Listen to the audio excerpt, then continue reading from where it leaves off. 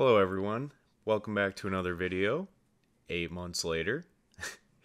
yeah, so I've been gone a while, you know, a lot going on in the personal life, work, all that nonsense. I will admit I didn't think my videos would get as many views as some of them did, and I wasn't really prepared on how to move forward after getting a few ideas out of my head. But luckily I've been doing a lot of thinking lately about what else I can do to move this channel forward, especially given the growing and noticeable interest in the city planning realm of discussion online. I want to continue posting videos that can be used as an area of discussion and promotion of good city planning because it's quite literally how we live our daily lives, and I think therefore it's something really important to be concerned about. But, of course, I have read the comments on my videos. I get notifications on my phone every day seeing what people say, so believe me, I see them. A lot of people comment about how depressed I sound and how mundane my presentation is, which I will assure you makes me laugh out loud nearly every time. Well, by laugh out loud, I mean blow some air through my nose and smile, but yeah. I can assure you I'm not depressed. Rather, the video topics I discuss are things that do indeed depress me. The modern state of American city planning is rather depressing. There's no way around saying that. But anyway, not another rant. Let's just cut to the chase. So, you might notice I'm playing a game in the background. This game, in case you're unfamiliar, is a city building simulator called Cities Skylines. It's quite possibly the best simulator ever created. And for me and many others, we're starting to see it not as just a game, but something we can use to study city planning and provide images for ideas we might only have in our heads. This is the way I want to take this channel forward. I understand that looking at Google Maps images while I drone on about how bad American city planning is might not be the most appealing thing, so I wanted to provide an entertaining backdrop while still providing useful discussion in the realm. What I'm thinking is something like this where I undergo an urban planning related challenge in the game while discussing real world issues. Or not. I don't know. Depends on the week, I guess. So, what I've decided to do is undertake a interesting challenge here. Uh, basically, what I want to do is create a city that entirely is independent from personal cars. Yeah, no cars at all. Uh, I'm not really sure if this is possible, but I guess we're going to find out. So, what I'm gonna do is kind of create like a little train station thing here, uh, just to kind of get into the city from the outskirts. Um, I'm not counting this as part of the city, by the way. But uh, the rules for this challenge, they're to be pretty simple. Um, yeah, that's about it. That's the only rule. I mean, I'm obviously going to allow like taxis, buses, police cars, all that stuff. Um, I'm not saying like no motorized vehicles whatsoever. Um, I mean, it's you know, it's something that obviously in the game you kind of need for it to function, and I, you know, I do want it to be a functional city. Uh, so just making a little train station here to get into the city, and once we get into the city, however, I'm not going to allow any personal cars whatsoever. These areas out here, like the highways that lead into the train station and whatnot, are going to be sort of the only areas where you'll see personal cars hopefully. Uh, that's the plan at least. So while I do this, I'll just kind of let it go and I'll get back to you here once I finish this up.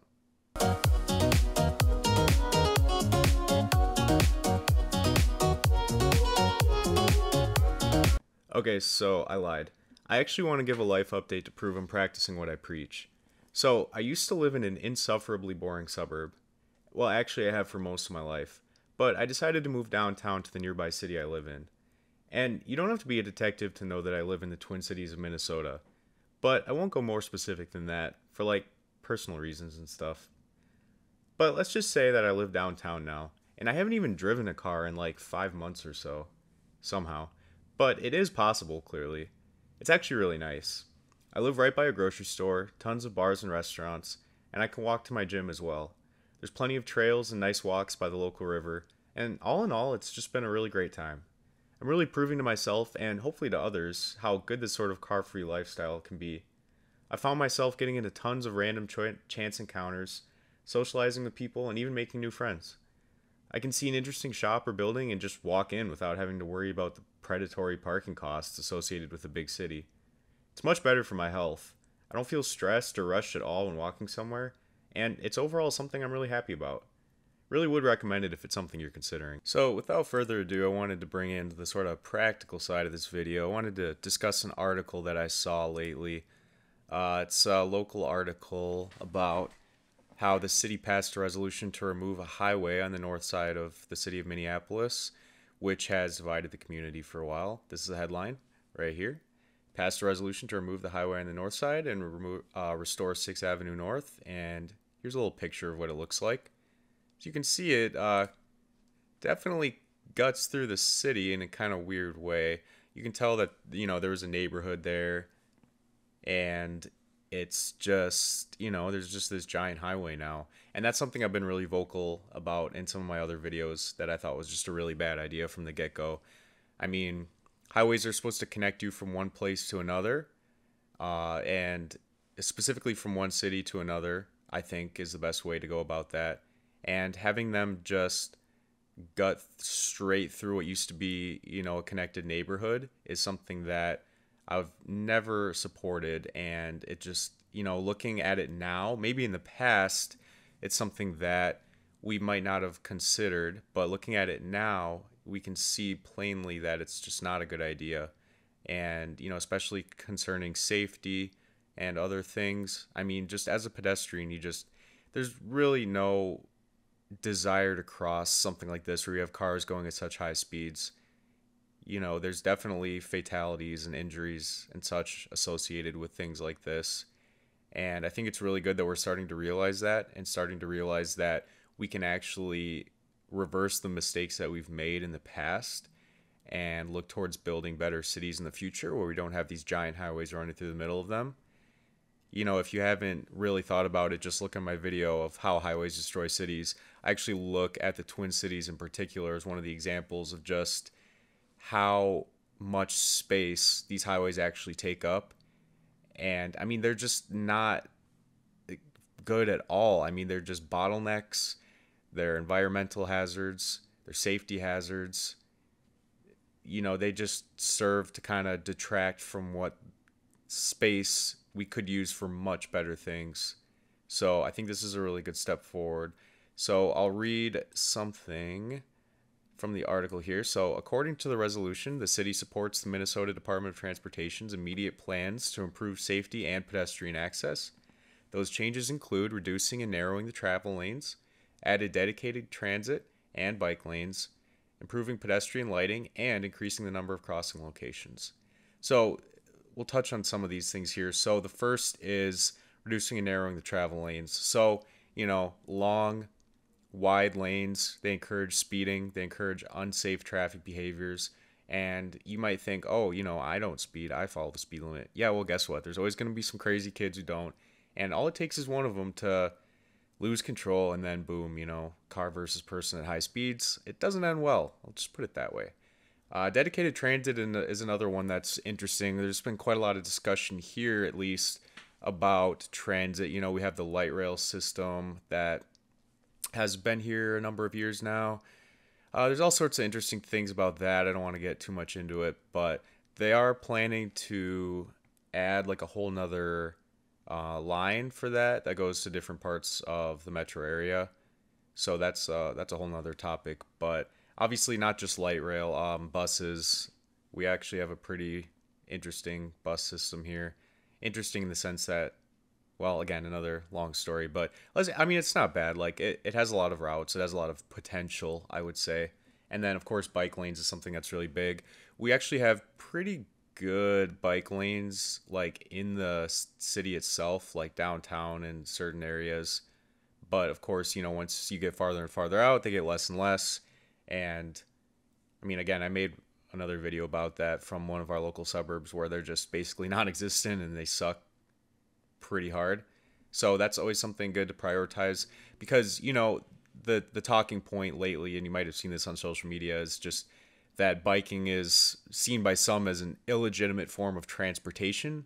You know, some commentators have advocated for even removing bike lanes from roads, which I mean, I'm not even going to comment on how stupid that is, but basically the important thing to note here is that biking is a legitimate form of transportation and if we maintain bike lanes year round and have them in the same condition that roads are it'll encourage more and more people to bike and have an alternative method of transportation that doesn't cost them thousands and thousands of dollars to do You know, it doesn't disadvantage them because they don't want to spend a ton of money on a car.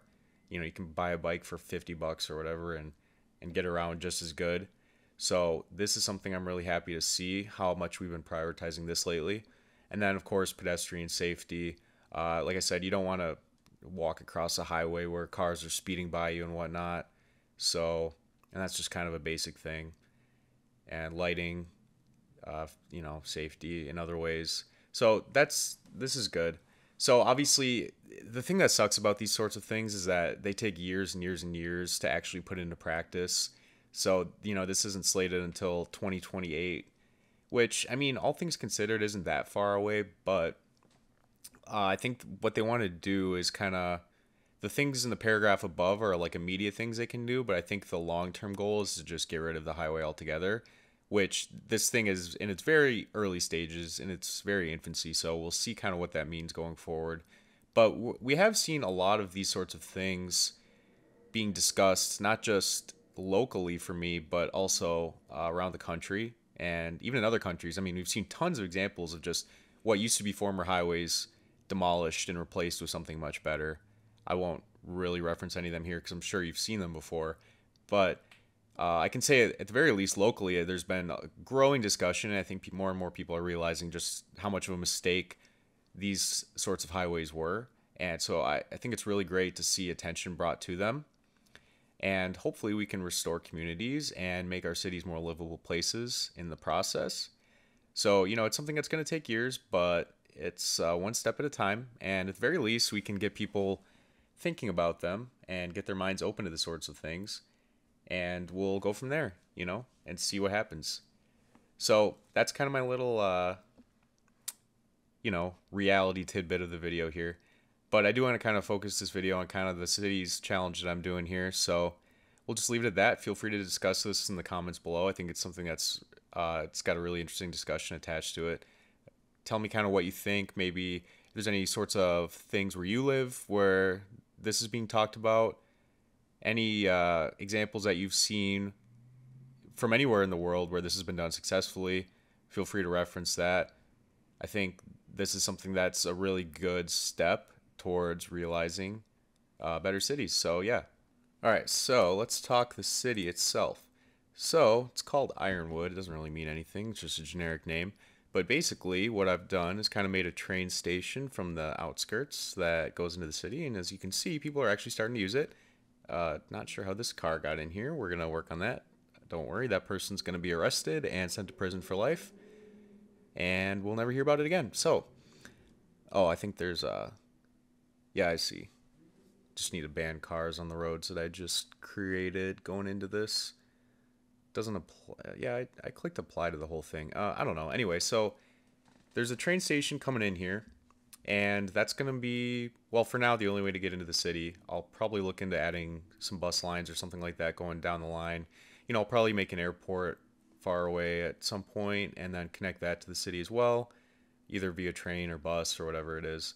So, but I kind of just created some, I just wanted to get some people in the city, so it's not the prettiest looking apartment block area but I just kind of wanted to plop a few down, get some people kind of in here. And so I wanted to look at the policies because I know there's some interesting ones that relate to this, but I'll kind of activate the basic ones. You know, recycling, smoke detectors, free public transit. Why not? You know, we're all about making a good city here. Recreational use, sure. And uh, go down the line here. Let's see what else there is A bunch of really random ones, not gonna lie. Educational blimps, like what? I don't know. Uh, free Wi Fi sounds good to me. You know, we have unlimited money here, so money's not an issue at all. So this is kind of the uh, the perfect world scenario, which is cool. they have a they have a NIMBY one that's funny. Kind of like how in touch this game is sometimes. Not gonna lie. Well, we're gonna encourage biking because, of course, we are. And yeah, we'll see what else. I mean, that kind of covers most of it here. There's nothing much really. Um, maybe, well, that's kind of a given. You know, that. Do workers' unions boost connections?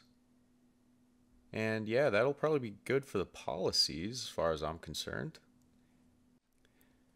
So yeah, that about covers it for the first episode. You know, plop some bike lanes here on this road. We'll get way more into that going forward, believe me. Big fan of that.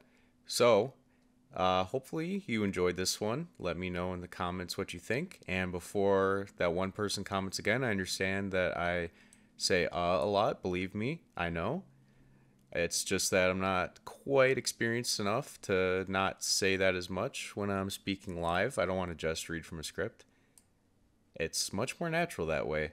So don't worry, I'm going to work on it. Trust me. I swear. But for now, you're going to have to, you know, kind of deal with that a little bit. I'm sorry. But I hope you enjoyed this video. Uh, I'm going to make another one. See, I just did it again. What are you going to do? I'm, you know, I'm going to be working on this. Hopefully try and do one a week, two a week. I don't know. We'll see. I kind of work a lot. I work like 50 hour weeks. So that sucks. But, you know, in my free time, I'll try and do this as much as I can. Uh, by all means, feel free to submit some interesting things down below. If you've, you know, some interesting discussion topics and whatnot, I'll be happy to discuss things that you guys want to see discussed and talk about kind of all things going on in the world of city planning, which, you know, will be very fun. We'll have this going on in the backdrop. Gonna see how far we can make this go. Building a city without cars. It's an ambitious idea. I think it's to be a good time, especially in this game. And believe me, I have lots of other ideas going forward too with this. So hopefully you guys like this format a little bit better. I think it's a little bit more bearable to watch, hopefully. And yeah, so thanks for tuning in, and I'll see you next time.